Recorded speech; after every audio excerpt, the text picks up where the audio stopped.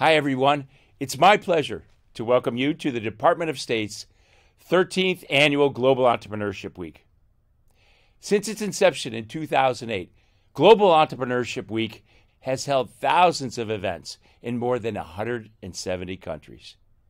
Each November, for one week, we celebrate self starting innovators and we seek to connect entrepreneurs with potential investors, collaborators, and mentors. I'm a former global CEO, entrepreneur, and engineer myself. I know all too well how challenging and rewarding it can be to build a business from scratch and take it to escape velocity. I also know from my experience that the United States is home to some of the most creative and passionate minds anywhere in the world. We have pioneered revolutionary innovations and we continue to reach new heights in business, science, and technology.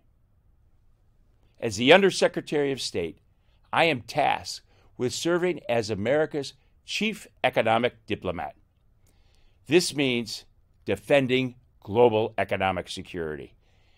It also means serving as an ambassador for the American dream and spreading the hope of free enterprise throughout the world.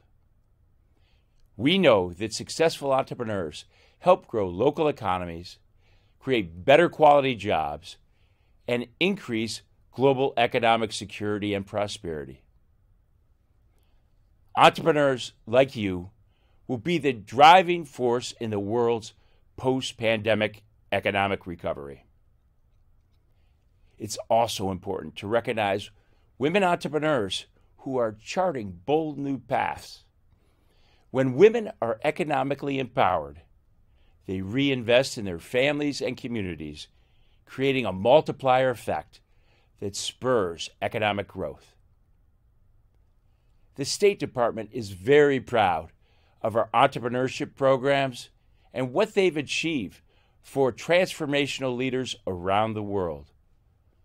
We're also proud of you, the entrepreneurs who are driving progress and change throughout the world.